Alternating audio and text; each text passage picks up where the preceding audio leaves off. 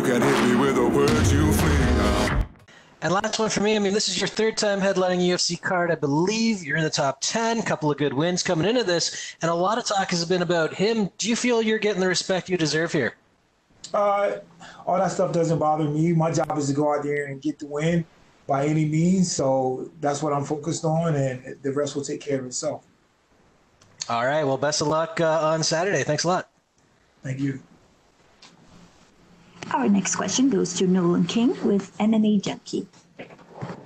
I appreciate the time. Uh, it's been a little while since we've seen you too. It's been uh, almost a whole year since you've competed. So, I mean, what's this last year been like for you with the pandemic, everything? You got, you know, back-to-back fight cancellations. How difficult has that been?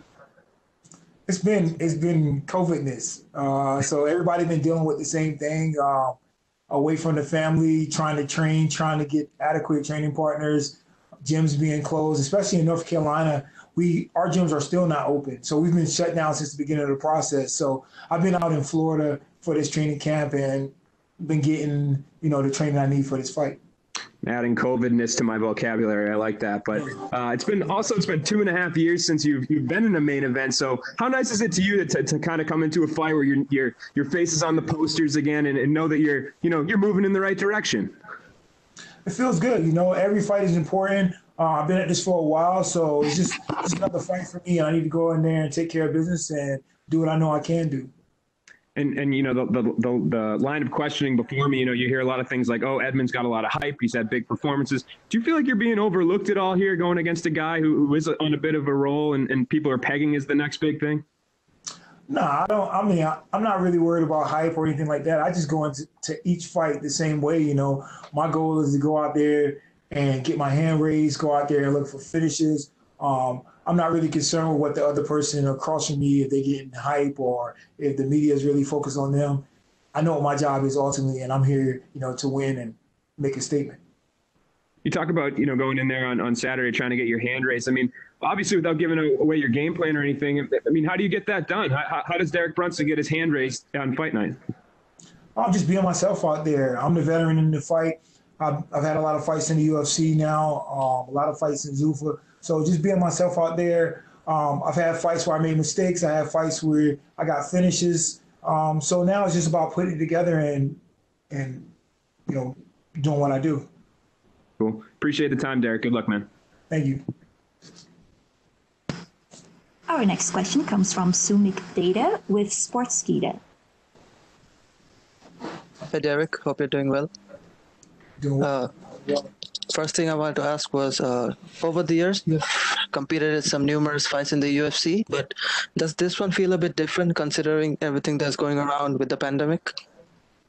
Uh, we have the pandemic going on, but uh, people don't really care about that, you know, considering the fight. So that's my main focus is to do what I can, prepare as I'm supposed to, because a couple years from now, nobody's going to remember, oh, the COVID was going on or whatever, whatever. They're going to remember the results of the fight, how you perform, how it looked. So I'm just taking, you know, all the excuses out and really focusing on the fight. Right. Uh, so this fight was initially supposed to take place at UFC 248, but then it got canceled twice. Uh, you know, finally, now that you're getting to compete for the fight, does that affect your game plan mentally, you know, after such a long gap? Nah, I've been in this game for a while, so having a long layoff really doesn't bother me. I know some people say something about ring rust, but um, I don't really believe in that too much. You know, when you're getting good training, good sparring, um, you go out into the fight, it's the exact same thing. So um, I feel ready and prepared for the fight.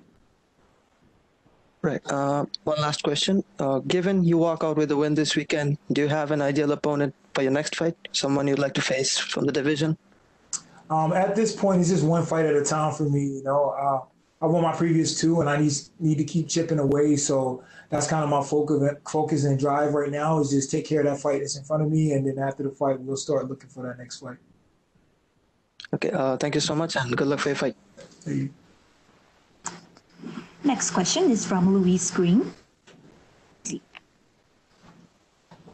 Hi, Derek. Um, obviously a lot of people have been talking about the hype surrounding Edmen, but you know, what was your first initial reaction when this fight was first put forward to you, and what do you think he brings to the table in this matchup? Um, when they offered the fight to me, I was like, okay, cool. You know, we got a, a young, undefeated prospect. He's 11 and 0. I mean, if you do the sport long enough, obviously you're going to get that loss. So it's a perfect time to go ahead and, and, and break him into that column. And obviously, this this fight was put together. It was cancelled and rescheduled. So, how have you been making the most of your time in terms of your preparation and not overtraining because of the the long run up? Yeah, this fight was booked a couple times, and you know, with the COVID and the injury the first time, and I think one time before that we were looking to fight on another card, but I think he needed more time, so it's kind of like the fourth time. But you know, it was the last time we were supposed to fight, I was in really good shape. The weight was really down, so I had to go back home, eat some some candy, some chips, some cookies, and stuff like that. So just kind of tone it down, bring my body back, so I'm not beating my body up 24 seven and you know being real fragile. But I did that, and I'm back and um, ready to make this weight cut and then get the fight. And you said previously to somebody else about, um, you know, this is a step up for him. What do you think you can expect to see from him though on Saturday night?